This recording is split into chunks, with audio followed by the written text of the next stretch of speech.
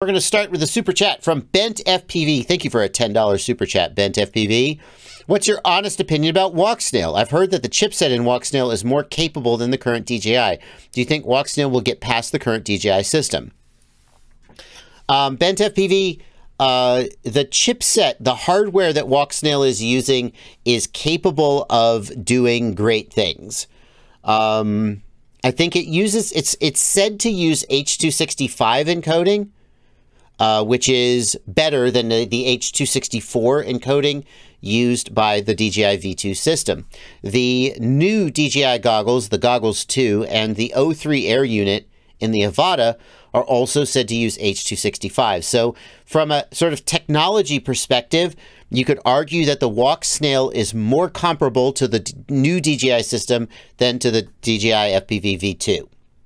Um, but as as we can see when we try to use the system in the real world, the um, the technology itself is not the be all end all of the system performance. And my honest opinion is that Walksnail has not reached a level where I would prefer it to the DJI V2 system. Um, I haven't done extensive testing of the very latest firmware that is going around. Uh, frankly, I have taken a little bit of a breather um, when it first came out, it was very, very interesting and very exciting to try every new firmware that they put out. And uh, you know, uh, after a while, I thought to myself, okay, let's uh, let's do something else with my time for now, and let's check back in in a few weeks.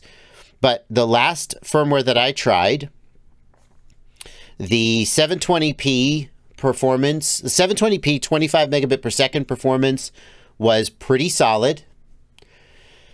Still, I think not quite as good as DJI, especially because at 1200 milliwatts, it didn't seem to do well compared to 700 milliwatts.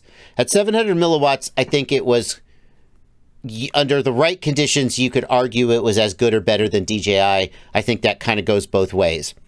Um, when you increase the Walksnail VTX to 1200 milliwatts, it didn't seem to get better and it suggests perhaps that they're they're overdriving the amplifier or something else is going on. Like it's not necessarily a given in an RF system that pushing more power into it will inherently give you better range. So DJI at at 1200 milliwatts, uh, I think is just definitively better than Walksnail at 700 milliwatts or 1200 milliwatts. In addition, when I went from 25 to 50 megabits per second, I didn't see a big jump in perform in image quality.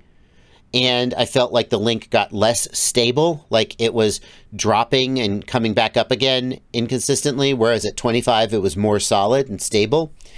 And I didn't feel like at 1080p it was actually giving better image quality. Uh, and all of these things are things that they can improve. There are a lot of little knobs and dials inside that chipset that they can tweak, and they are tweaking to try to get the best possible performance in the widest range of conditions.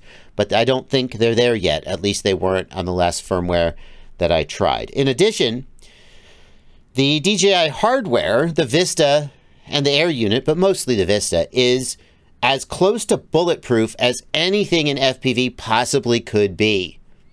It is extremely difficult to kill those things. Not impossible.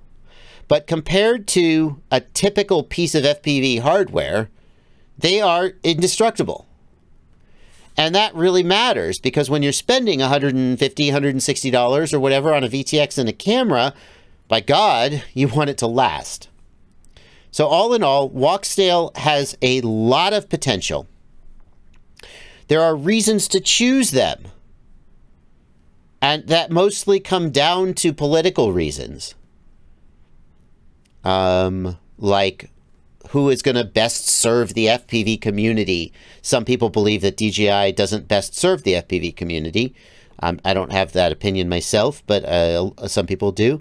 Some people just don't want to put anything with DJI's name on it in their in their flight bag. Um, I think that if DJI stopped existing then I would probably choose Walksnail as my second choice. I think that it is good enough that I could use it on a day-to-day -day basis, and it would be better for me than analog and better for me than HD Zero. all things considered. But um, as long as DJI V2 exists, uh, that's I think that's better, especially now that the price is so much lower for DJI.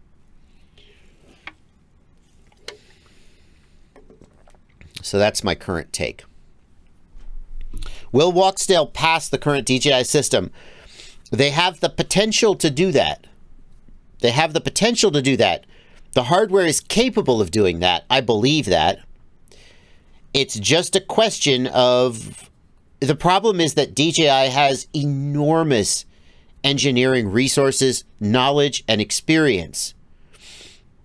And it'd be like saying, listen, Bardwell, Bardwell, in uh, in six months, you're gonna race Alex Vanover.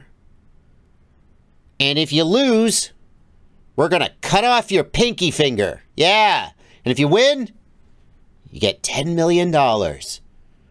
Okay, start practicing. Now, in six months, if I spent the whole next six months practicing, would I beat Alex Vanover in a race? no. Wouldn't happen.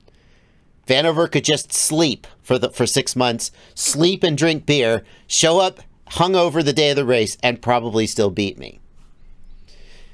And that's the situation in some respects. That's the situation that Walksnail is in. I'm exaggerating for comedic effect.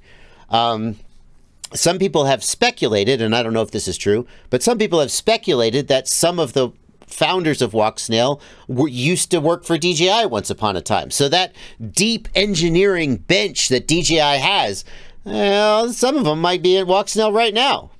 I don't know if that's true. I'm not saying it's true. I'm just saying that's a rumor I've heard. So uh, the point is that that the question will Walksnail beat DJI? DJI is a damn powerful competitor. They make damn good stuff. And they make good stuff just repeatedly. They just keep making bangers. So I think that's I think Walksnail should focus on making the best system they can. And if they're focused on beating DJI, uh, it feels like that's much, much harder to achieve. okay.